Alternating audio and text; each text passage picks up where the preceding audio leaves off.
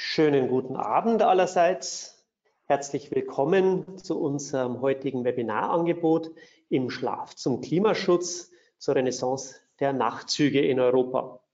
Mein Name ist Markus Büchler, ich bin Sprecher für Mobilität der Grünen im Bayerischen Landtag und darf herzlich begrüßen zu dieser Veranstaltung heute und gleich eingangs danken für Ihr Interesse. Während gerade noch immer mehr Teilnehmende hereinkommen, überbrücke ich noch ein, zwei Minuten mit ein paar äh, technischen Hinweisen und Informationen zum Ablauf, äh, bis sich alle hier eingefunden haben. Wir haben sehr viele Angemeldete, weit über 100, was uns sehr freut. Ich denke auch, dass ist, äh, wir haben mit dem Thema auch wieder den, einen Nerv getroffen, der auch das, der zeigt, dass großes Interesse an Nachtzugverkehr der Zukunft besteht. Äh, erst einmal ein paar technische Hinweise. Äh, wir sind hier in GoToWebinar, einem Webinar-Tool, in dem Sie, die Referierenden und die Moderierenden dieses Abend sehen.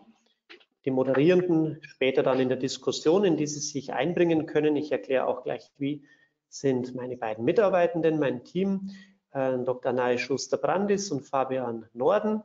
Die beiden werden äh, nachher, wenn die Vorträge beginnen, äh, schon mal die Fragen sichten, die Sie uns so nach und nach dann eingeben können, wir werden diese Fragen ja, sortieren und äh, wenn es sehr viele sind, leider auch auswählen müssen, weil wir haben 60 Minuten Zeit für unser Webinarangebot heute.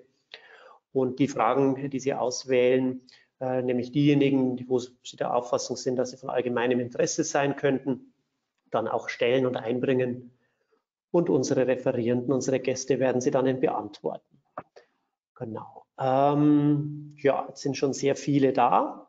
Äh, dann beginne ich einmal noch, benutze ich noch eine Minute zum Begrüßen. Wir haben sehr, sehr viele Interessierte, wie gesagt, heute hier. Wir haben auch viele Vertreterinnen und Vertreter verschiedener Organisationen und Einrichtungen, ich kann nicht alle benennen, sonst wären schon zehn Minuten von unseren 60 Minuten wahrscheinlich rum. Deswegen bündle ich es ein bisschen und fasse zusammen und benenne einfach die Organisationen. Fühlen Sie sich alle gegrüßt und herzlich willkommen, insbesondere und am allermeisten diejenigen, die ich vielleicht versehentlich übersehe oder vergesse, wenn ich hier die Teilnehmendenliste durchschaue. Ähm, protokollarisch äh, als erstes möchte ich begrüßen meinen Landtagsfraktions Landtagskollegen der Grünen aus dem Tiroler Landtag, also aus dem Ausland sozusagen, äh, Michael Mingler. Herzlich willkommen, schön, dass du wieder dabei bist. Du hast ja auch ein bisschen beigetragen zur Entstehung dieses Webinarangebotes heute mit Kontaktvermittlung etc. Ähm, dann äh, haben wir bei uns äh, angehende Bundestagsabgeordnete, wie wir alle hoffen, nämlich ähm, Kandidierende zur Bundestagswahl im September. Wir haben auch einen Verkehrsreferenten der Bundestagsfraktion der Grünen hier herzlich willkommen und äh, verschiedene Fachleute aus unserer Landesarbeitsgemeinschaft Verkehr.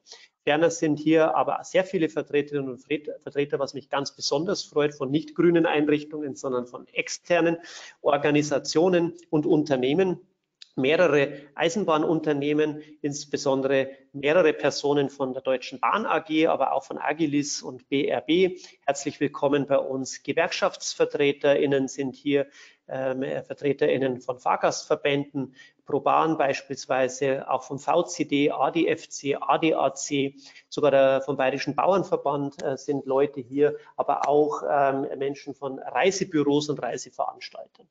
Ihnen allen herzlich willkommen und einen schönen guten Abend.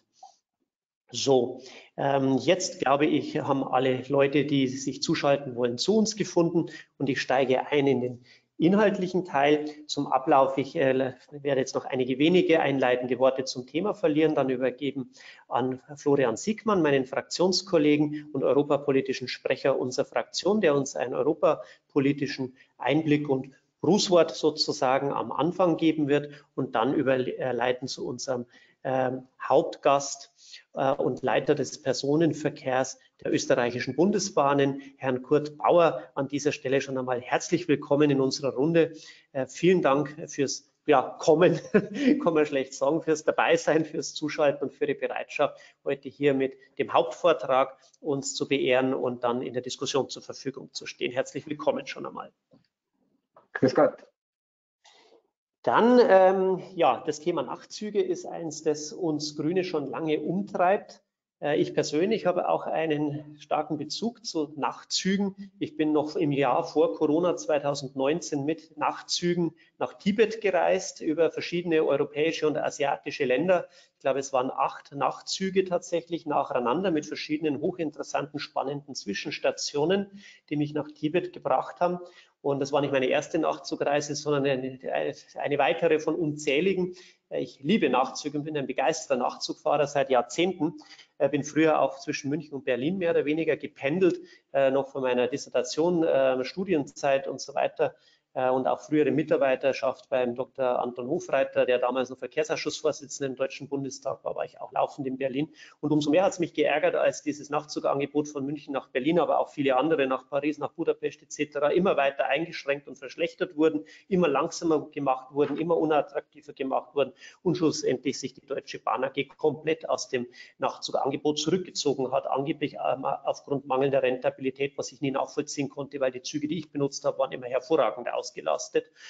Ähm, ja, also jedenfalls äh, umso froher war ich dann zu hören, dass die ÖBB einen Teil des Streckennetzes und des Materials übernommen hat aber dazu werden wir gleich noch weiteres hören. Die Nachtzüge sind aber nicht nur Geschichte für Eisenbahnromantiker äh, und Fans äh, wie mich und viele andere Menschen, sondern es ist vor allem ein Modell für die Zukunft äh, für mehr Klimaschutz, um auf Kurz- und Mittelstrecken Flüge zu ersetzen und eine andere bequeme Art und, Reise, Art und Weise des Reisens zu ermöglichen, die von immer mehr Menschen sehr wertgeschätzt wird. Deswegen ist es für uns Grüne ein wichtiges politisches Thema. Dazu werden wir ja auch gleich noch wesentlich mehr hören. Und ich freue mich auch, dass die Europafraktion sich auch betätigt hinter mir hier hängt eine Europakarte, ein Werbematerial der Europafraktion der Grünen das äh, sich auch für mehr Nachzuglinien einsetzt. Ich weiß nicht, wie genau man es erkennen kann. Ich hoffentlich nicht so ganz genau, weil so richtig zufrieden bin ich mit den Linien, die da sind, nicht. Aber ist ja wurscht. Äh, es geht ja mehr so um die Vision. Ähm, letzter Gedanke noch. Ähm, auch die Bundesregierung hat erkannt, dass das vielleicht nicht so ganz schlau war, dass Deutschland keine Nachtzüge mehr hat. Auch der Bundesverkehrsminister der designierte Ex-Bundesverkehrsminister Andreas Scheuer äh, hat vor kurzem ja verkündet, dass ähm, jetzt äh, Europa da irgendwie starten soll mit dem Trans-Europe Express 2.0 ja, äh, es ist auch so entsprechend rezipiert worden, wie auch mein erster Gedanke war, naja, vom Ankündigungsminister an die Scheuer kommt halt eine neue Ankündigung, an den Taten sollte sie messen und das ist beim Bundesverkehrsminister in letzter Zeit immer eher schwierig gewesen. So wird es wahrscheinlich auch damit sein, wenn hier nicht Leute das Ruder übernehmen, denen auch ernsthaft was an der Sache liegt. Und ähm, ein eine Einrichtung, eine Organisation, die eben nicht nur ankündigt, sondern konkret auch Sachen macht und umsetzt und wirklich Verkehr auf die Schiene bringt und Alternativen zum Fliegen anbietet. Das ist die ÖBB und ähm, jetzt einer der großen Player sozusagen im Nachtzugverkehr in Europa. Und umso mehr freut es mich eben, dass wir nachher gleich lauschen dürfen, den Ausführungen und diskutieren dürfen mit Ihnen, Herr Bauer. Das zur Vorrede. Jetzt übergebe ich an Florian Sigmann. Bitte schön. Ja, vielen Dank, Markus. Wir teilen unsere Leidenschaft für die Nachtzüge und als europapolitischer Sprecher war mein persönliches Highlight letztes Jahr, Anfang 2020, als der neue Nightjet zwischen Innsbruck und Brüssel eingewiesen worden ist. Ich war auch einer der ersten Fahrgäste auf dem Rückweg von der Sitzung in Brüssel, ähm, donnerstags abends, ich glaube 18.07 Uhr, am äh, Brüssel Midi äh, eingestiegen und äh, im Schlafwagen mit eigenem Bad und eigener Dusche. Sehr luxuriös, muss man sagen. Nach München gefahren, 7 Uhr morgens da, perfekt mit Frühstück äh, und dann um 8.30 Uhr schon wieder ein Termin. In dem Fall witzigerweise mit dem österreichischen Kommissar Hahn, damals noch aus der EU-Kommission im Landtag, aber dann in Bayern gehabt. Ich glaube, das zeigt ganz gut das Potenzial von Nachtzügen, wo es auch im Geschäftsreisebereich was ersetzen kann. Alle, die wie ich aber auch begeisterte Interrail-Fahrer sind, wissen, Nachtzüge haben noch viel mehr zu bieten ob jetzt im Liegewagen durch Frankreich oder wie manchmal leidvoll im Sitzwagen durch Italien. Man hat eigentlich für alle Angebote und, und Möglichkeiten, damit Verkehr ja, klimafreundlicher zu gestalten in Europa und für jeden ein passendes Angebot zu finden. Und das ist dringend nötig, denn immer noch ist es ja so, dass 25 Prozent der Treibhausgasemissionen bei uns durch den Verkehrssektor kommen. Viel auch durchs Fliegen und da muss sich was ändern. Äh, und da sind Nachtzüge eine wichtige Option und im Moment die beste Option, die wir haben. Und du hast es gesagt, unser Traum ist ein flächendeckendes Nachtzugnetz, bequem, gut ähm, ausgebaut, mit vernünftigen Halten, guten Laufzeiten, Zeiten, zu denen ich aussteigen kann. Aber Da gibt es viele Hürden. Dazu wird der Kurt Bauer gleich sicherlich noch einiges zu sagen haben. Das kommt vor allem daher, dass Schienenverkehr eine sehr nationale Angelegenheit ist äh, und war. Und äh, jetzt haben wir dieses Jahr das Europäische Jahr der Schiene. Warum ist das ausgerufen worden? Weil man erkannt hat, dass man so seine eigenen nationalen Netze eigentlich mehr vernetzen muss. Und seit Ende letzten Jahres ist dann auch das vierte Eisenbahnpaket in Kraft. Und die Idee hinter diesen ganzen Eisenbahnpaketen war, dass man die Gleise in Europa verbindet. Also ein paar Verbindungen haben sie schon, aber einen Schritt weiter geht und dafür sorgt, dass ich zum Beispiel nicht mehr bei jeder nationalen Eisenbahnagentur eine Genehmigung für meine Züge brauche, eine Zulassung, ein Zertifizierungsverfahren, damit die überhaupt durch das jeweilige Land fahren dürfen, sondern dass das die Europäische Eisenbahnagentur zentral macht. Genauso dasselbe gilt für die Sicherheitssysteme, die an den Gleisen installiert sind die, die in Deutschland unterwegs sind, kennen mittlerweile alle das European Train Control System. Das ist das, was nicht geklappt hat zwischen äh, Nürnberg und Berlin, wo dann erstmal die ICEs nicht fahren durften.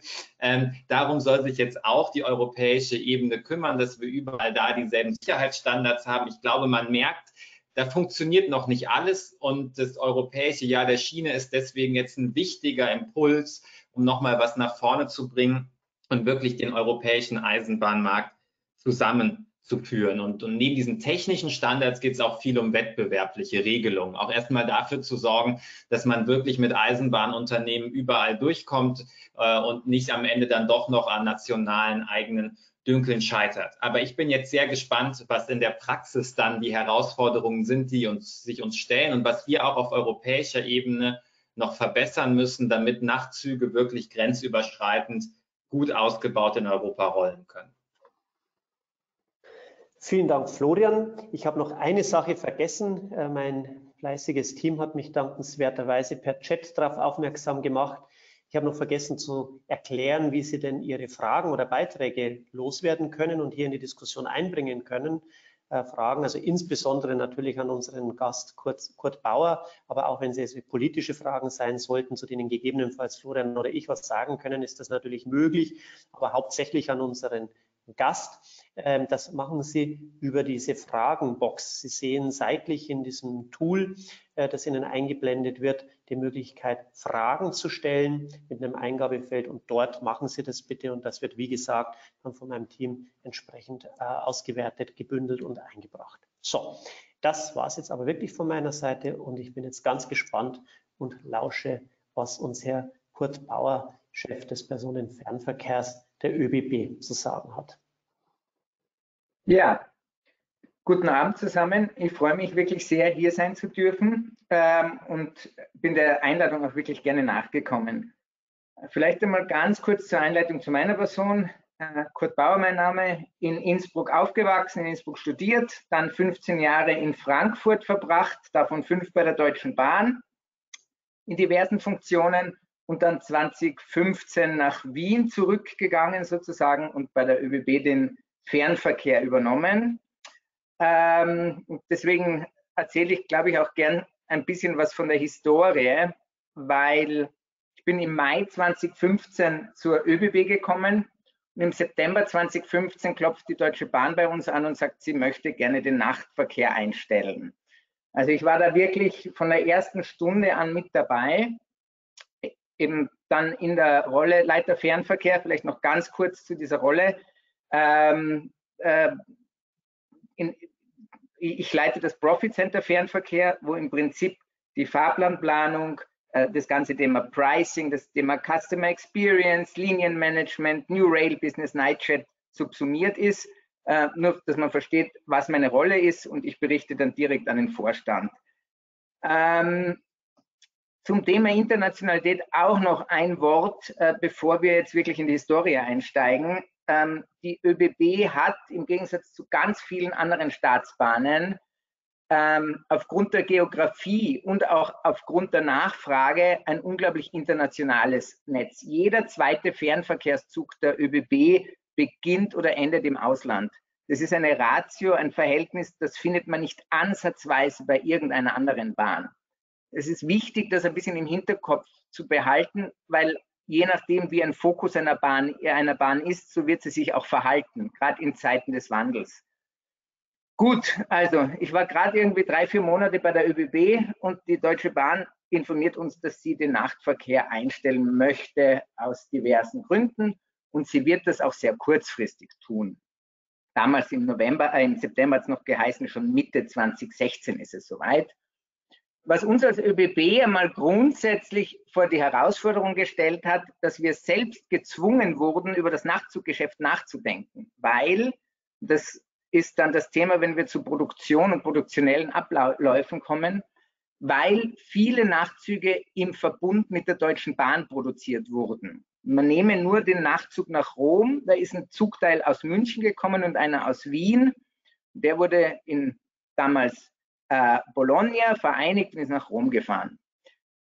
Wenn jetzt ein Teil des Nachtzugs wegfällt, ein Ast, dann ist der andere Ast auch nicht mehr betriebswirtschaftlich zu führen, weil, das ist in der Eisenbahn generell so, wir sind ein Massenverkehrsunternehmen. Wir haben unglaubliche Fixkosten und wir haben ehrlicherweise auch unglaubliche variable Kosten. Äh, allein die Schienenmaut variiert irgendwo zwischen zwei und sechs, sieben Euro pro Zugkilometer. Also unglaubliche Kosten. Ähm, und deswegen ähm, muss man auch wirklich eine signifikante Anzahl von Menschen transportieren. Ein kurzer Nachtzug, wenn man auch noch dazu kommen, ist betriebswirtschaftlich eigentlich nicht abbildbar. Es geht um die Masse. Gut, jetzt sind wir vor der Situation gestanden, dass wir sehr kurzfristig, und für eine Staatsbahn ist es unglaublich kurzfristig, innerhalb von zwei, drei Monaten ein Konzept aufbauen mussten, was wir denn jetzt gedenken zu tun. Und die Range war schon von, wir stellen den Nachtverkehr auch ein, bis hin zu, sollen wir so verrückt sein und die paar guten Wagen, die die DB noch hat, übernehmen und sollen wir uns wirklich in dieses Geschäft reintrauen, das zu diesem Zeitpunkt, das darf man auch nicht vergessen, null Attention hatte in der Öffentlichkeit und schwer zu verkaufen war. Da komme ich dann auch noch dazu. Und es waren wirklich lange Diskussionen, die in die unterschiedlichsten Richtungen gegangen sind. Klimaschutz war damals auch schon ein großes Thema, weil wir uns als, schon damals als größtes Klimaschutzunternehmen Österreichs verstanden haben und uns dann wirklich zugetraut haben, ähm, das waren damals 42 Schlafwagen der DB, die wir dann gekauft haben, die noch in einem recht guten Zustand waren. Die waren nach 2000 gebaut. Ähm, 15 Liegewagen übernommen und haben uns wirklich angeschaut, welches Netz können wir hier sinnvoll betreiben. Und das klingt jetzt wenig romantisch, aber das Liniennetz, das wir dann äh, Ende 2015, Anfang 2016 gebastelt haben, war ein rein produktionell getriebenes. Äh, ich kriege oft die Fragen, warum, äh, warum haben wir nicht den Verkehr vom Ruhrgebiet nach Warschau übernommen, wo es doch so viele Polen gibt, die eben in der Region wohnen und, und nach Hause fahren wollen? Ja, ganz einfach, weil wir es nicht produzieren können aus Österreich heraus. Ganz eine simple, unromantische Antwort. Ähm, und so sind wir dann auf das Liniennetz gekommen, das wir dann 2016 auch eröffnet haben. Und zu diesem Zeitpunkt ähm, waren zum einen natürlich diese betrieblichen Agenten ein Thema. So mussten wir wirklich aus Österreich herauf, heraus komplett optimierte Produktionskonzepte in kürzester Zeit umsetzen. Ich gebe nur ein Beispiel.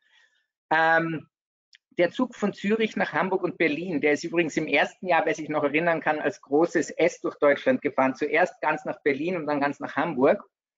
Äh, der wird gespeist aus den zwei Zubringerzügen aus Graz und aus Wien. Das heißt, in der ersten Nacht fahrt ein Zugteil von Wien nach Zürich, einer von Graz nach Zürich. In der zweiten Nacht fahrt er als langer Zug nach Hamburg, in der dritten Nacht fahrt er zurück, in der vierten Nacht fahren die zwei Zugteile wieder nach Graz und nach Wien und werden dann in Stand gehalten. Äh, ein bisschen kriegt man dann schon einen Geschmack dafür, für die unglaubliche betriebliche Komplexität, die dahinter steht. Man setzt nicht einfach mal irgendwo schnell einen Nachtzug auf. Das geht einfach nicht. Das ist nicht möglich aufgrund der Komplexität, die der Schienenverkehr einfach mit sich bringt. Gut, wir haben uns das Ganze angeschaut. Ähm, wir sind dann auch zu dem Schluss gekommen, Nachtzüge müssen maximal lang sein. So sind wir zum Beispiel auf das Linien X gekommen, Innsbruck, Hamburg und äh, Wien, äh, Düsseldorf mit dem Wagentausch in Nürnberg um maximal lange Züge zu fahren. Also es muss schon Nachfrage da sein, sonst geht das Ganze nicht. Und das sagt ja mein Chef, der Herr Mate, auch immer wieder, richtig reich wird man mit dem Nachzug unter den jetzigen Konditionen auch nicht werden. Da kommen wir dann noch zu den ganzen politischen Forderungen. Na gut, äh, wie dem auch sei, wir haben es wirklich innerhalb eines Jahres geschafft, äh, den Aufsichtsrat zu überzeugen, äh, die Wagen der Deutschen Bahn zu übernehmen. Das ist ja auch nicht ganz leicht. Wir müssen ja ausschreiben Staatsunternehmen, der Beschaffungsprozess anstoßen. Ähm, wir mussten eine Marke erfinden. Das war auch nicht so ganz einfach. Das fängt damit an, dass Sie eine Marke brauchen, die erstens nicht geschützt ist. Zweitens sollten Sie möglichst noch eine .com-Seite für das Produkt haben und es sollte in Ihr Gesamtportfolio der Marke auch noch reinpassen. Und bis zu dem Zeitpunkt hatten wir zwei Marken, im Nahverkehr den äh, CityJet, im Fernverkehr den Railjet. Ja, und so haben wir als Organisation innerhalb von 14 Monaten das gestemmt. Und das ist die erste Lessons Learned, die ich wirklich nur mitgeben kann. Zwei Lessons Learned wenn das Top-Management nicht hundertprozentig hinter einem Thema steht, dann vergessen Sie es. Sie werden es nicht in 14 Monaten umsetzen, so ein komplexes Thema. Und das Zweite ist, Sie glauben nicht, was das für eine Motivation im Unternehmen war, welche, welche Energien freigesetzt wurden, zu sagen, so, die ÖBB kommt jetzt raus aus dem National Carrier und spielt wirklich am internationalen Markt mit. Das war ja eine Once-in-a-Lifetime-Opportunität. Das lässt sich so auch nicht wiederholen in der Form. Das war wirklich eine einmalige Möglichkeit. Und diese Kräfte und diese Stolz, äh, die die Mitarbeiter entwickelt haben, ehrlicherweise auch, um einmal den Deutschen zu zeigen, wie Eisenbahnfahren geht. Also das ist diese kleine Rivalität mit Deutschland, ähm, die gibt es halt immer. Rivalität im positiven Sinn. Ähm, das hat so unglaublich motiviert. Aber, und jetzt kommt das Aber, ähm, die Deutsche Bahn hat auch uns maßgeblich unterstützt dabei. Ohne Deutsche Bahn, die dann im Endeffekt trotzdem nach wie vor EVU für die Nachtzüge ist in Deutschland, die nach wie vor natürlich die Tickets dafür verkauft. Ohne die Kooperationspartner der SBB, die muss ich hier ganz klar erwähnen, die war unglaublich unterstützend, die SBB, wäre das auch nicht möglich gewesen. Und ich weiß jetzt, ich höre natürlich die Privaten jetzt schon wieder schimpfen und sagen, ja, kein Wunder, die ähm, Staatsbahnen äh, arbeiten da so eng zusammen und lassen eh niemanden in den Markt rein. Das ist immer sehr einseitig ähm, ähm, diskutiert und klar, in ihrer Rolle müssen sie das auch tun. Äh, für mich muss es die zwei Modelle parallel geben. Es muss einerseits die Kooperation zwischen den Staatsbahnen geben, gerade für Verkehre, die einfach sehr komplex sind und nicht so einfach zu produzieren sind. Und natürlich muss es den Raum geben, keinen Zweifel, für Wettbewerb auf der Schiene. Aber das eine schließt das andere aus meiner Sicht nicht aus, sondern kann sich ergänzen. Ähm, aber das ist das, wenn ich das Thema Kooperation und wie wichtig die für uns ist, höre, auch immer als Argument bekomme. Übrigens, ähm, zum Beispiel die SNCB kooperiert ja jetzt im neuen Nachtzug nach Brüssel auch mit einem privaten EVU. Also ich glaube, hier werden sich die Grenzen dann auch äh, zunehmend auflösen. Gut, wir haben den Verkehr dann im Dezember 2016 eröffnet. Ich war dann natürlich auch live dabei, habe den ersten Rangierprozess in Nürnberg äh, überwacht sozusagen. Und äh, das war dann schon uraufregend davor, dabei zu sein. Und es hat gut funktioniert. Wir hatten dann zu dem Zeitpunkt auch eine echte Mediencoverage. Also die Medien sind damals dann schon ganz gut auf dieses Produkt angesprungen. Warum erwähne ich das? Sie müssen sich in die Lage oder in die Situation von einer kleinen Staatsbahn ähm, versetzen, die auf einmal ein europaweites Produkt hat. Wie um Gottes Willen soll man das bewerben? Und ohne Werbung, ohne, ohne dass es bekannt ist, das Produkt, verkauft man halt einfach nichts. Und es ist auch so, der, Night, der Nachtzug war zu dem Zeitpunkt aus dem Evoked Set der meisten Reisenden bereits nicht mehr vorhanden. Wenn die Leute an Fernreisen gedacht haben, haben sie normalerweise ins Auto und ein Flugzeug gedacht. Vielleicht, das war dann auch die Zeit vom Flixbus, wo der aufgekommen ist, und vielleicht noch an den ICE. Aber der Nachtzug war nicht mehr im Evoke Z. Und deswegen ist für uns, und ich sage das jetzt ganz offen und ehrlich, die Öffentlichkeitsarbeit auch so unglaublich wichtig, weil das unser Weg ist, nicht nur für den Nightjet, sondern generell für den Nachtzug Werbung zu machen, was dann auch immer zurückreflektiert auf den Nightjet, weil es halt das größte Produkt am Markt ist. Ähm, wir würden ohne die, das mediale Interesse und das Öffentlichkeitsinteresse das Produkt nicht verkaufen können. Wir haben kein Milliardenbudget, um Werbung dafür zu machen. Das, das, das können wir nicht. das ist, glaube ich, auch nochmal ganz wichtig und deswegen bin ich so froh über die politische Debatte auch, da kommen wir dann auch dazu, bisher eigentlich politisch nicht viel für Nachtzug erreicht wurde. Da komme ich dann auch noch dazu. Aber es wird diskutiert. Die Leute wissen, es gibt noch ein paar Nachtzüge und die Leute buchen auch. Und ich freue mich sehr, Ihnen mitteilen zu können, dass, also in Österreich sind wir vielleicht schon einen Schritt weiter jetzt mit den ganzen Post-Covid-Öffnungsschritte. Äh, wir merken wirklich, dass die Buchungen von Tag zu Tag anziehen jetzt wieder. Also es ist der Punkt erreicht. Wir werden den Verkehr, den Nightjet-Verkehr fast umfänglich ähm, um den 25. Mai wieder hochfahren. Also wir gehen von einem guten Sommer für den Schienenverkehr im Generellen aus, aber auch für den Nightjet im Besonderen. So, das war jetzt ein bisschen einmal die Einführung, warum wir da stehen, wo wir stehen. Jetzt würde ich Sie ganz kurz durch ein paar Fakten durchführen und dann das ganze Thema auch, äh, wie muss es weitergehen, äh, damit der Nachtzug Zukunft hat, äh, besprechen. Ich würde um die nächste Folie bitten.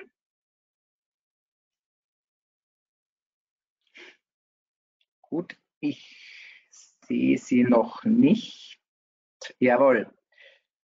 Vielleicht nochmal ganz kurz ein paar Fakten. Ähm, wir verbinden über 25 europäische Metropolen. Wir haben im Moment, also vor Covid sind die Zahlen natürlich rund 1,5 Millionen Fahrgäste pro Jahr. Äh, wir haben eine 80-prozentige Weiterempfehlungsrate. Also die Leute, die dann auch mit uns fahren, die fahren gerne und die kommen auch wieder. Wir haben ein sehr treues Stammpublikum. Und der Klimaschutz, das ist in der Tat eine der Hauptgründe, warum man den Nachtzug überhaupt verwendet.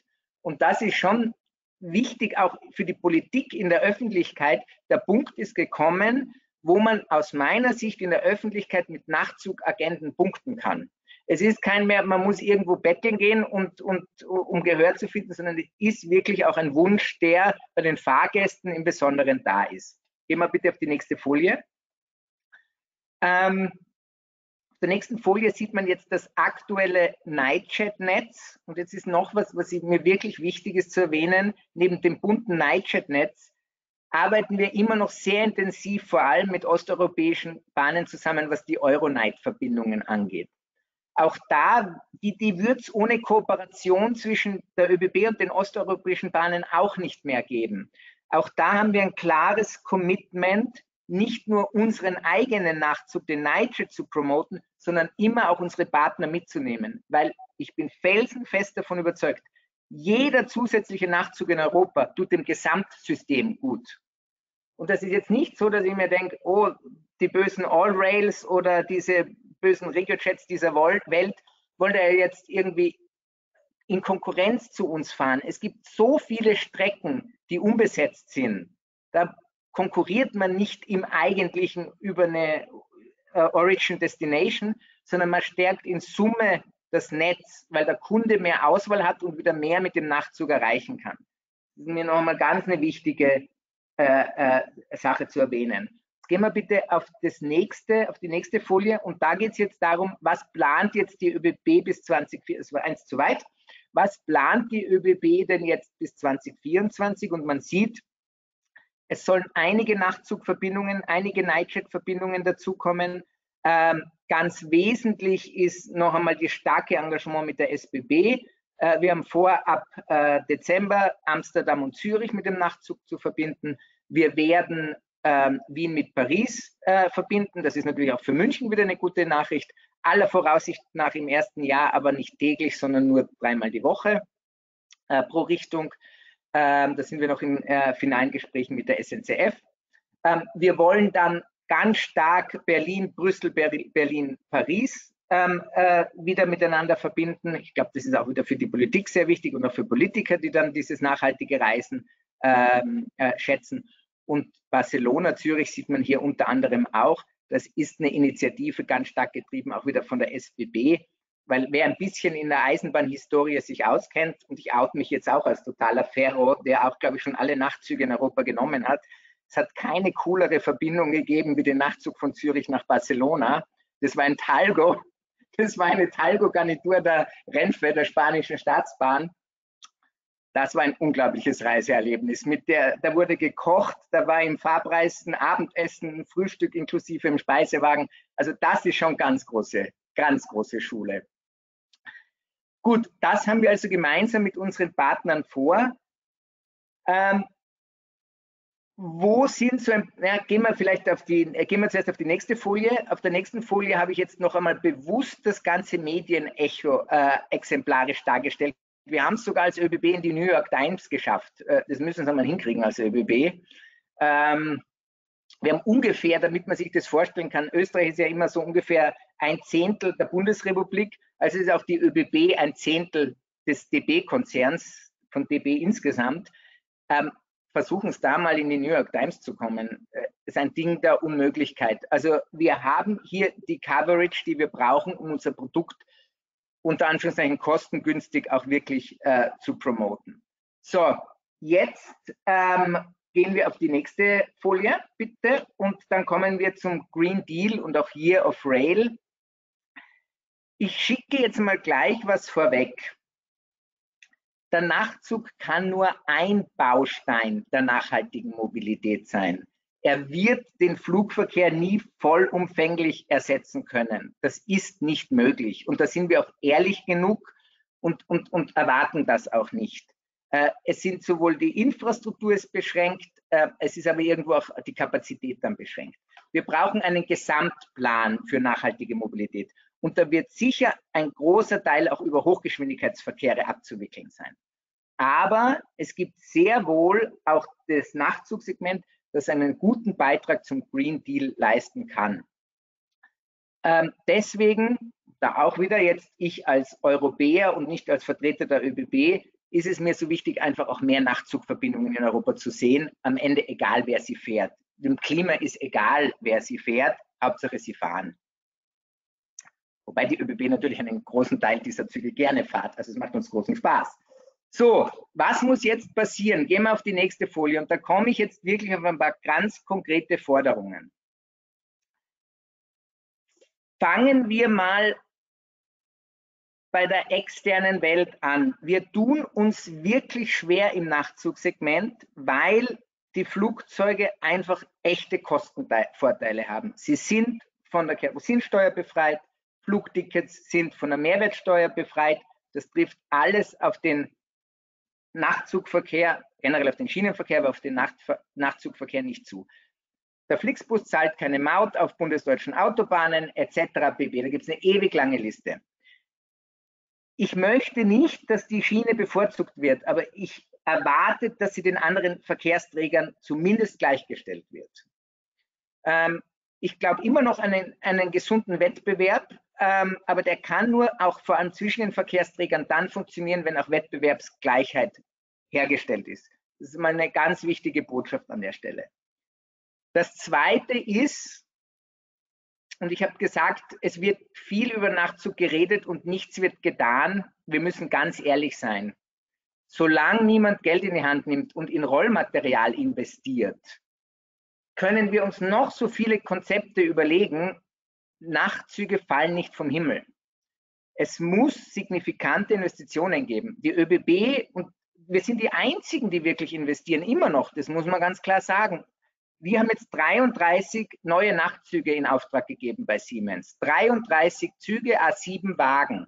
Das ist signifikant und das ist viel Geld. Und auch wir diskutieren, ob man das Geld in Nachtzüge steckt oder in Hochgeschwindigkeitszüge oder in Infrastruktur oder ich weiß nicht wohin. Ähm, Im Moment gibt es einen Boom auf Second-Hand-Rollmaterial. Ganz viele private Bahnen, RegioJet ist da so ein schönes Beispiel, kauft jetzt die letzten Liegenwagen, Fliegewagen der DB ab und so weiter. Das führt aber nicht zum Green Deal und zum Wandel Verke im Verkehr, weil am Ende sind die Wagen 50 Jahre alt und die muss man halt jetzt zum hundertsten Mal refurbischen. Aber es ist nicht nachhaltig. Irgendwann sind die Wagen am Ende. Also ganz klare Message, es braucht Rollmaterial. Und wenn wir jetzt beim Thema Rollmaterial sind, jetzt möchte ich ein paar Schmankerln erzählen, was das Thema Zulassung von Rollmaterial angeht. Und übrigens, ich verstehe immer, wie es dazu kommt. Man versteht es im historischen Kontext und trotzdem ist es so schwierig. Als wir die, den Rahmenvertrag mit Siemens abgeschlossen haben zur Zulassung der neuen Nachtzüge, haben wir nicht gedacht, dass das so ein ähm, Boom werden wird. Wir haben den Vertrag verhandelt zwischen 2015 und 18 und haben ihn 18 abgeschlossen. was ich 2018 in den Rahmenvertrag mit Siemens nicht an Ländern reingepackt habe, wo die Fahrzeuge zuzulassen sind, macht die Zulassung fast unmöglich. Deswegen, ich sage so ehrlich, unsere Nachtzüge, wir gehen davon aus, die werden Frankreich nie sehen. Unser Konzept Paris, Berlin, Paris, Wien, Brüssel, äh, Berlin, Brüssel, Wien, werden wir mit kon konventionellem Rollmaterial fahren, solange das möglich ist, weil wir uns nicht darüber hinaussehen, die Dani-Züge, Dani heißen die bei uns intern, Entschuldigung, diese Nachtzüge in Frankreich zuzulassen. Das ist echt traurig. Auch Barcelona werden wir, wenn, mit Bestandswagen, die halt einen Art Bestandsschutz haben, anfahren. Die Zulassung in den Niederlanden, es geht nur um die Niederlande äh, der neuen Nachtzüge, ist, kostet einen zweistelligen Millionenbetrag. Ein Schmankerl. Ganz Europa hat sich darauf verständigt, dass Magnetschienenbremsen bei 20 km/h funktionieren müssen, ab 20 km/h. Ehrlich, unter 20 km/h macht es auch wenig Sinn, weil da kriege ich jeden Zug zum Stehen. Nein, in den Niederlanden müssen Züge ab 10 km/h die Magnetschienenbremse funktionieren. Als einziges Land in Europa. Das war in der Spezifikation und Konfiguration des Zugs nie drinnen. Das stellt uns vor unglaubliche Herausforderungen. Die Italiener, das weiß man glaube ich auch nicht. Es gibt kaum eine Bahn, die Züge hat, die für Italien zugelassen sind, weil in Italien neue Brandschutzbestimmungen in Kraft treten werden. Und bis auf die paar Züge, die die SBB gemeinsam äh, mit der Trenitalia hat und die neuen Nachtzüge, die jetzt die ÖBB kauft und die neuen Tagzüge, gibt es im Moment keine Züge, äh, die nach Italien fahren können. Das ist ein Fakt. Und wie kommt es zu den hohen Brandschutzbestimmungen? Das ist auch wieder erklärbar ähm, sehr viele Tunnelstrecken in Italien und ein unglaubliches Desaster vor zehn Jahren in Viareggio. Das sind, ähm, es waren damals natürlich keine Personenwagen, sondern es waren Kesselwagen, die in der Stadt in die Luft geflogen sind. So kann man immer erklären, wie so Bestimmungen zustande kommen, aber sie fördern halt die Interoperabilität des Netzes wirklich nicht. Wir brauchen da echt Unterstützung, weil das ist, und jetzt ehrlicherweise bin ich dann gleich am Ende, das ist ja die, das größte Hindernis. Es muss wer Millionen, Millionen, Millionen Invest in die Hand nehmen, muss dann aber mit drei, über 30 Jahre mit diesem Ding Geld verdienen. Sonst rechnet sich der Business Case nicht. Wenn ich solche Zwänge habe, die mir immer wieder begegnen und ich eigentlich nie die Sicherheit habe, ob ich wirklich die Züge die nächsten 30 Jahre europaweit einsetzen kann, dann werde ich nicht investieren. Das ist meine Antwort darauf, warum es so wenig privates Engagement in dem Bereich gibt weil es ein Risiko ist. Gut, gehen wir auf die nächste Folie.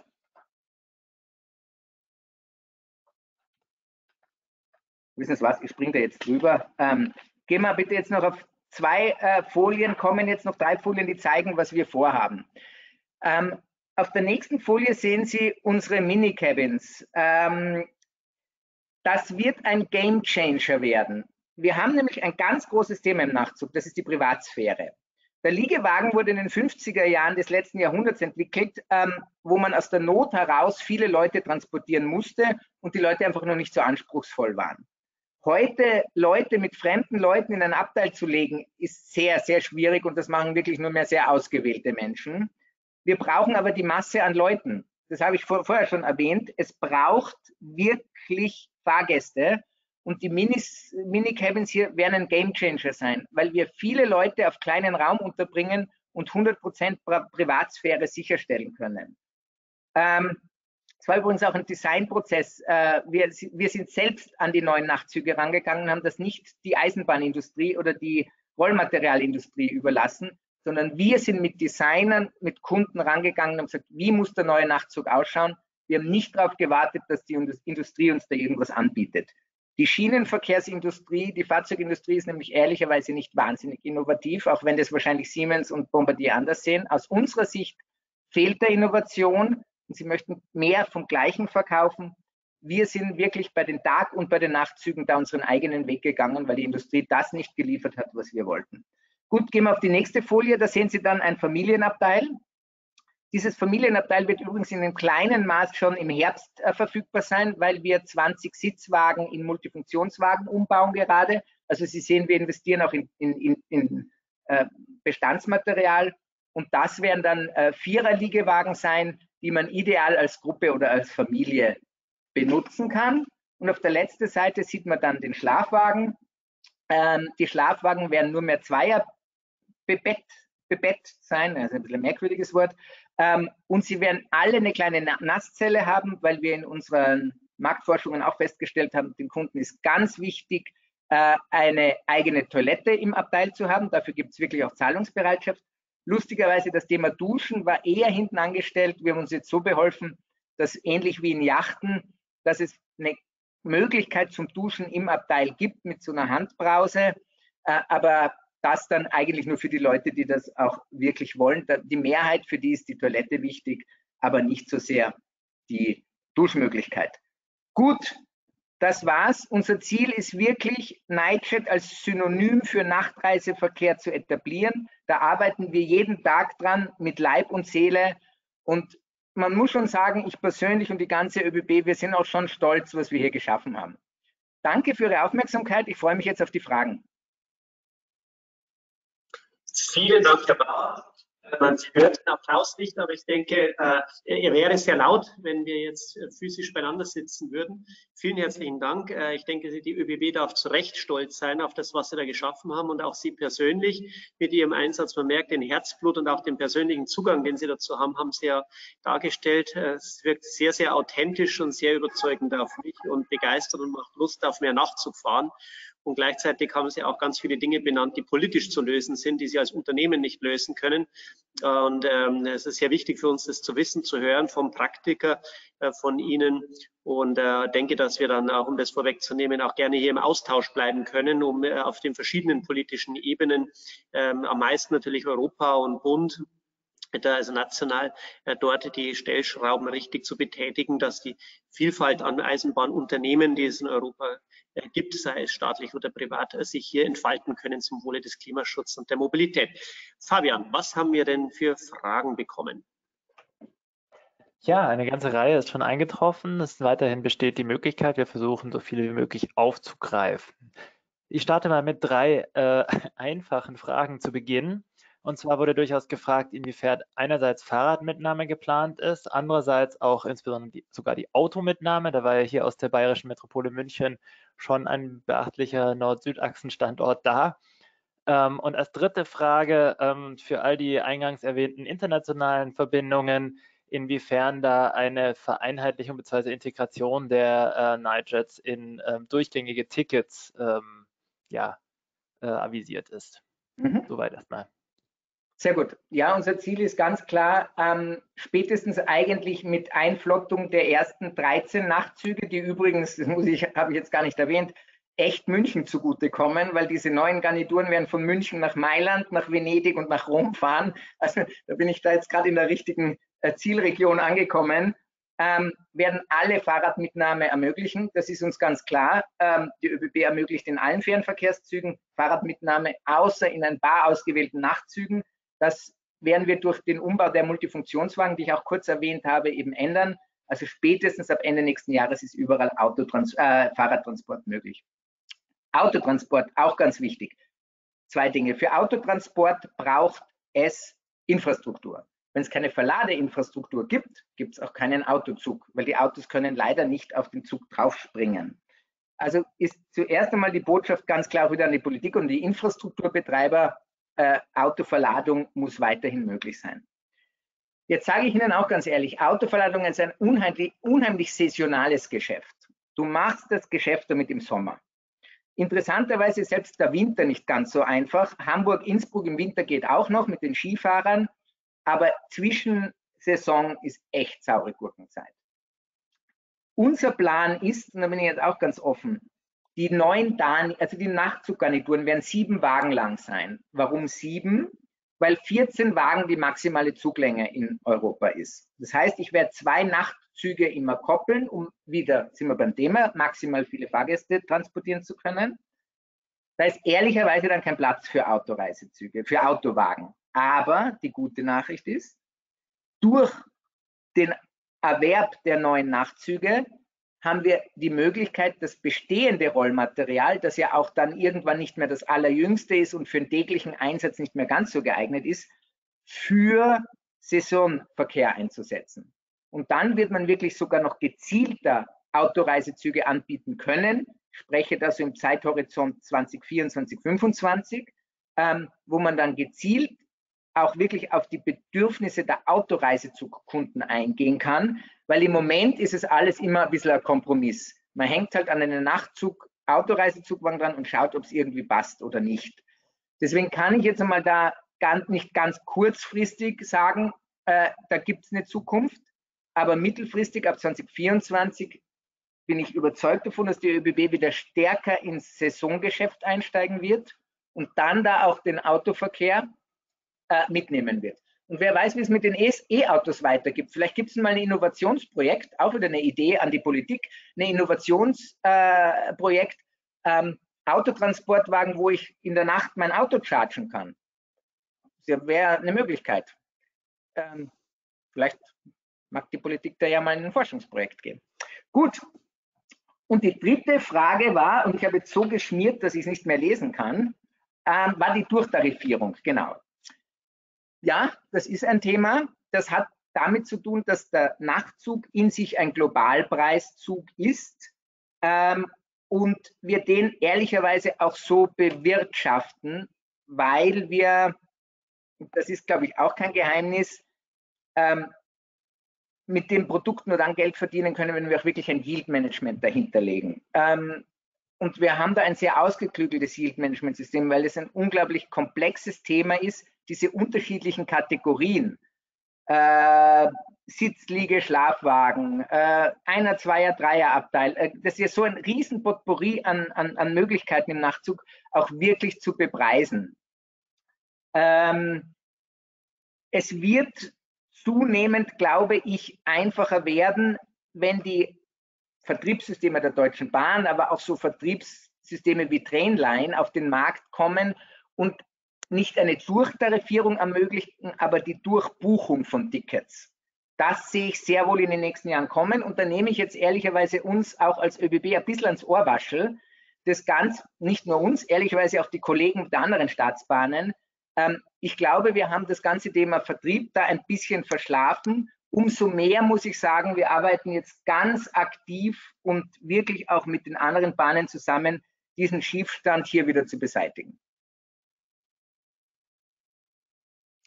Vielen Dank, Herr Bauer, für die kompakte Beantwortung der Fragen. Ich habe ein neues Wort gelernt, Einflottung. Ähm, mhm. Das gefällt mir sehr. Da ist es aber nicht markenrechtlich geschützt oder so, darf ich das verwenden? Sie dürfen es gerne verwenden. Hervorragend. Da freue ich mich nämlich wahnsinnig auf die Einflottung der neuen Fahrzeuge. Wenn die dann ausgerechnet von München aus starten, ist es dann schon zum kommenden Fahrplanwechsel? Na, Nein, das wird im Jahr, also ähm, Sofern jetzt Corona nicht den Produktionsplan unseres Herstellers komplett durcheinander gebracht hat, wovon wir jetzt ehrlicherweise nicht ausgehen, äh, ist die Umstellung geplant mit Dezember 2022. Sehr schön, hervorragend. Gut, die werden wir, Florian, die werden wir uns genau anschauen, gell? Freuen wir uns schon drauf. Gut. Nicht nur äh, anschauen, auch mitfahren, bitte. Ja, selbstverständlich. Das ist selbstverständlich. das ist eh klar. Ähm, Probe liegen, kein Problem. Genau. Äh, Anna, jetzt, was gibt es an weiteren Fragen? Ja, ähm, wir haben noch ein paar sehr interessante Fragen und zwar geht es einmal um äh, die Lokomotiven, ähm, welche in Zukunft zum Einsatz kommen sollen. Und zwar für die Nightjets einerseits der zweiten Generation mit den schnelleren ähm, Geschwindigkeiten, auch 200 km/h. Und was passiert, wenn die DB in den nächsten Jahren den IC-Verkehr einstellt und damit auch die Baureihe 101 ausmustert. Äh, diese hat bisher die Nightjets in Deutschland gezogen. Welche Lokomotiven werden dann eingesetzt? Dann mhm. eine Frage an die Politik. Welche Maßnahmen, Veränderungen und Unterstützung von der Politik und Co. ist nötig? Ähm, da sind einige Beispiele aufgezählt, aber interessant wäre natürlich, was aus Ihrer Sicht prioritär wäre von Steuersenkung, Kerosinsteuer, besseres Gleisnetz, bessere Bahnhöfe, was es also alles gibt. Was wären Ihre Forderungen sozusagen an die Politik und natürlich heute besonders in Deutschland? Und ähm, eine ganz konkrete Frage um eine Bewerbung. Snell-Target hat sich nicht auf die Strecken Malmö-Brüssel und Stockholm-Hamburg beworben und geht die ÖBB da dran. Gut. Soll ich noch eine Frage stellen? Wir haben noch ein paar, aber wir können ja erstmal dabei bleiben. Ja, genau. Also gehen wir mal durch die drei Fragen durch ähm, und dann nehmen wir einfach die nächsten dran. Also, das Thema Lokomotiven ist einmal äh, für Deutschland ein lösbares, weil die ÖBB ausreichend Lokomotiven hat, die in Deutschland zugelassen sind. Ähm, die Nachtzüge sind übrigens für 230 km/h sogar zugelassen, die neuen Nachtzüge. Die Bestandsflotte auf 200. Das wird man ehrlicherweise nur in ganz seltenen Einzelfällen benötigen, aber der Zug hält halt zwei, äh, 30 bis 40 Jahre. Wer weiß, wie die Infrastruktur in 30 bis 40 Jahren sind. Allein um zukunftssicher zu sein, haben wir die 230 km/h genommen und, jetzt muss ich doch nochmal kurz ausholen, weil das Thema Fahrzeuge so komplex ist, wir haben uns halt als kleine Staatsbahn besonnen darauf, dass wir für die neuen Tag- und die neuen Nachtzüge die gleiche, äh, äh die, die gleiche Flotte brauchen, die gleiche Plattform, weil das unglaubliche Synergien in der Instandhaltung und so weiter mit sich bringt. Und da die Tagzüge 230 km/h fahren müssen, auch in Österreich, fahren die Nachtzüge jetzt auch 230 km/h. Das ist einmal nur zur Einordnung.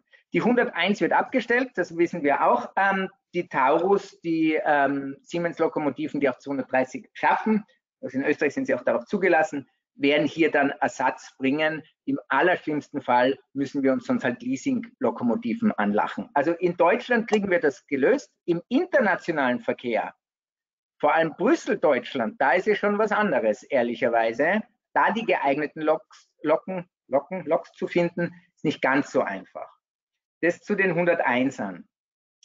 Ähm, dann war die, jetzt müssen wir uns kurz mit der zweiten Frage. Die dritte war Snell Dogged und die zweite Frage war? Ähm, die grundlegenden Forderungen an die Politik. Was grundlegende sind, Forderungen an die Politik. Prioritär. Genau. Es, bei der Eisenbahn dauert immer alles erfahrungsgemäß unglaublich lang. Deswegen gewisse Dinge wird man nicht von heute auf morgen ändern können. Deswegen muss man mit den Dingen anfangen, die kurzfristig änderbar sind. Und das ist der ganze regulatorische Rahmen, wie ich schon gesagt habe. Ähm, Kerosinsteuer, Mehrwertsteuer. Vielleicht kann man überhaupt einmal Nachtzugtickets oder Tickets für Schienenverkehr generell von der Steuer befreien. Dann können wir noch einmal die Preise um 10 Prozent senken ähm, und wir generieren mehr Nachfrage. Also auf, in diesem Spielfeld kann man relativ schnell relativ viel machen. Wenn es jetzt schon um die Fahrzeugzulassung geht oder auch um den überhaupt einmal über die, um den Kauf von Fahrzeugen, Investitionen in Fahrzeugen, da sind wir natürlich schon beim Zeithorizont von fünf bis sieben Jahren. Und wenn es um Infrastruktur geht, sind wir natürlich in einem ganz anderen Zeithorizont. Ich erinnere nur ehrlicherweise, aus österreichischer Sicht ist es manchmal schwierig. Jetzt haben wir endlich die Zulaufstrecke zum Brenner. Endlich. Leider ist der innerösterreichische Verkehr da wieder nicht berücksichtigt, weil es gibt keine Einfädelung von Salzburg. Das heißt, die, und das deutsche Eck ist uns für uns eines der wichtigsten Streckenabschnitte, die wir haben aus österreichischer Sicht. Sie verbinden halt Ost- und Westösterreich. Gibt es keine Einbindung und unsere Railjets werden dadurch die nächsten 100 Jahre durch Rosenheim oder durch Rosenheim bummeln müssen. Schade, aber ist so. Hauptsache der Nordzulauf kommt jetzt endlich einmal. Ähm, das sind natürlich Zeithorizonte, da spricht man von 20, 30 Jahren. Da ist aber, und da habe ich schon zwei klare Forderungen an die Politik, Konsistenz in der Verkehrspolitik, auch was die Finanzierung angeht. Und da muss ich die österreichische Verkehrspolitik wirklich auch noch einmal loben. Wurscht, wer in Österreich an der Macht war. Und wenn Sie sich in den letzten 20 Jahren anschauen, da hat man sehr rechte Regierungen, linke Regierungen. Bei einem waren sie sich immer alle einig. Die Schiene ist für Österreich wichtig. Und deswegen steht Österreich auch da, wo wir heute stehen. Die Österreicher sind EU-Bahnfahrer Nummer eins in Europa, äh, in der EU, was überhaupt nicht auf der Hand liegt, weil verkehrsgeografisch Österreich überhaupt nicht für den Schienenverkehr designt wurde. Da müsste Belgien, Niederlande, die müssten viel mehr Nachfrage auf der Schiene haben, viel dichter besiedelt. Was Ihnen jetzt nicht sagen, das hören viele Experten zu es grenzt an ein Wunder, dass die Österreicher die fleißigsten Bahnfahrer sind aufgrund der Verkehrsgeografie. Und das ist schon der konsistenten Verkehrspolitik geschuldet. Und wenn man kurzfristig was will, dann wird man vielleicht auch einmal für eine Zeit lang eine Anschubfinanzierung ermöglichen müssen. Ich habe von dem Risiko im Nachtzuggeschäft gesprochen und auch da muss ich wieder sagen, es gibt Länder, die haben ein klares Commitment, und da sind wir wieder bei Grenzen, die haben zumindest ein klares nationales Commitment, dass Nachtzüge ein Teil der nationalen Mobilität sind. Italien zähle ich dazu. Italien hat ein unglaublich dichtes Nachtzugnetz, weil es dem Staat wichtig ist. Frankreich hat überhaupt kein Nachtzugnetz mehr, weil es der Politik nicht wichtig war. Es ändert sich gerade. Österreich hat ein Nachtzugnetz, weil es der Politik wichtig ist. Für die innerösterreichischen Verkehre haben wir einen Verkehrsdienstevertrag. Wie sonst könnten wir Bregenz mit 30.000 bis 40.000 Einwohnern mit einem Nachtzug mit Wien verbinden? Das ist Verkehrspolitik und das kann man relativ schnell angehen. Da muss man nicht ewig warten. Ähm, da muss man sich einfach überlegen, wie man damit umgeht. Wichtig ist, bin ich auch überzeugt davon, dass natürlich wieder ein Gesamtkonzept zu binden, weil der Nachtzug kann wieder nur ein Bestandteil der Mobilität sein und nicht die Rettung für alles. Das muss man an der Stelle auch nochmal erwähnen. So, Snell Target. Ähm, ich glaube, ich kann nur mutmaßen. Ähm, wir haben uns ja auch die Business Cases angeschaut und auch die Arithmetik, wie der Verkehr ausgeschrieben wurde. Und ich sage Ihnen auch ganz ehrlich, wir haben auch kein Angebot abgegeben als ÖBB, äh, weil wir auch keinen richtigen Business Case finden konnten. Ähm, und das ist so ein bisschen auch der Art und Weise geschuldet, wie die Traffic Faircat hier ihre Ausschreibung gestaltet hat. Weil man muss verstehen, ähm, das Bestellerwesen ist heute ausschließlich national orientiert, leider Gottes. Es ist ja schon ein Wunder, wenn sich zwei Nahverkehrsaufgabenträger so weit international einigen, dass ein internationales Nahverkehrsprodukt zustande kommt.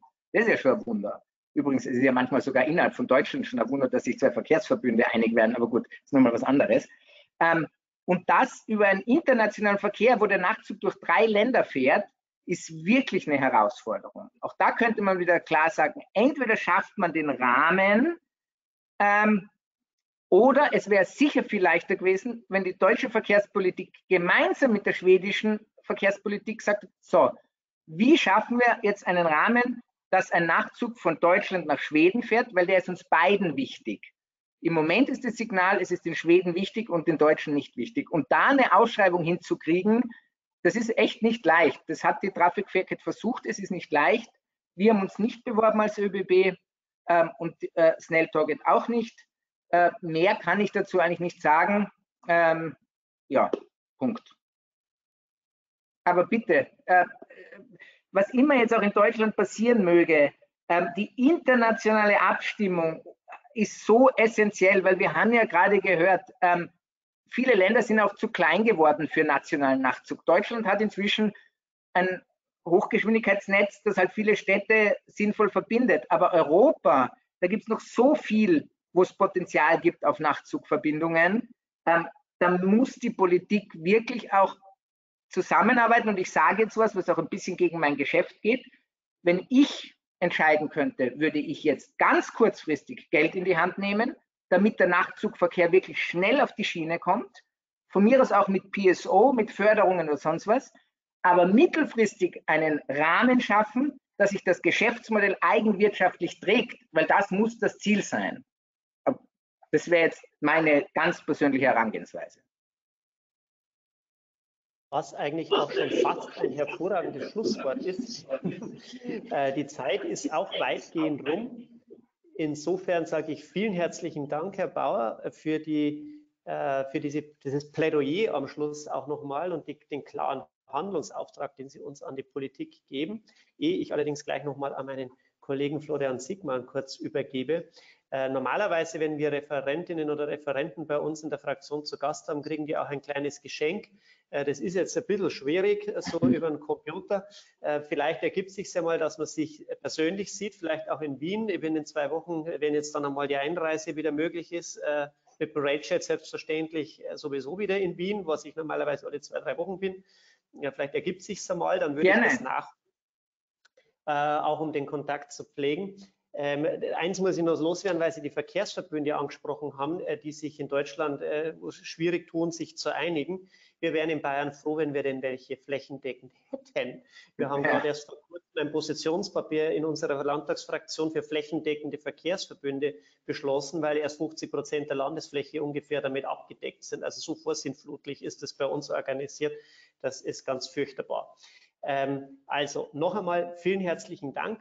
Äh, ehe ich zum Schlusswort übergebe ähm, an den Florian noch äh, zwei kurze Terminhinweise. Wir haben in unserer verkehrspolitischen Webinarreihe äh, von meinem Team und mir noch zwei hochinteressante Veranstaltungen, wenn auch gleich wir hier die Schiene verlassen.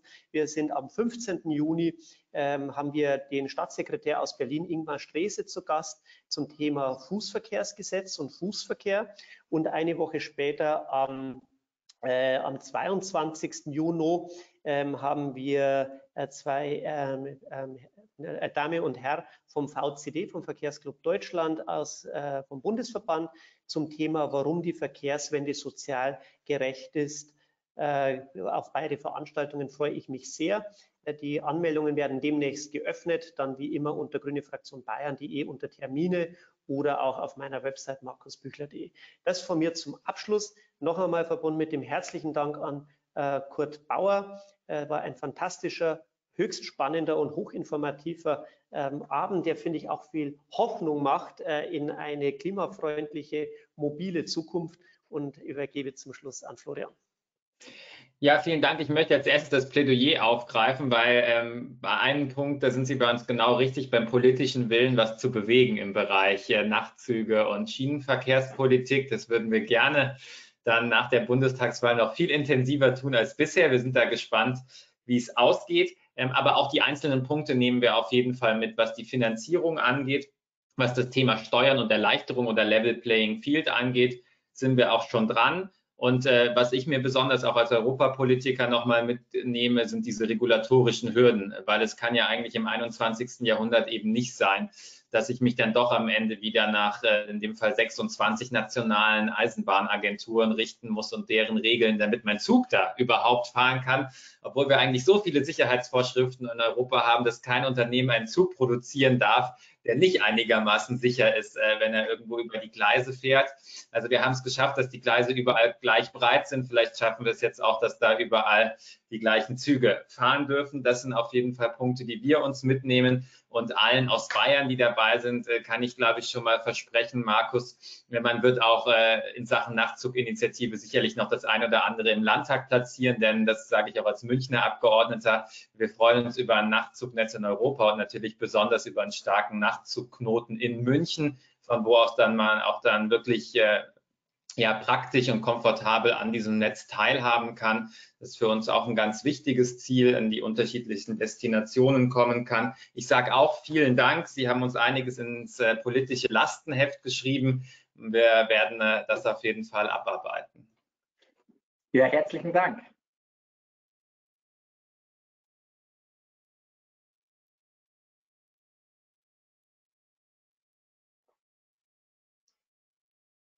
Im Chat wurde noch nach dem Foliensatz gefragt. Den nehme ich an, können wir bekommen und werden wir dann ja. an alle Angemeldeten versenden. Genau, vielen Dank auch dafür. Dann wünsche ich allseits einen schönen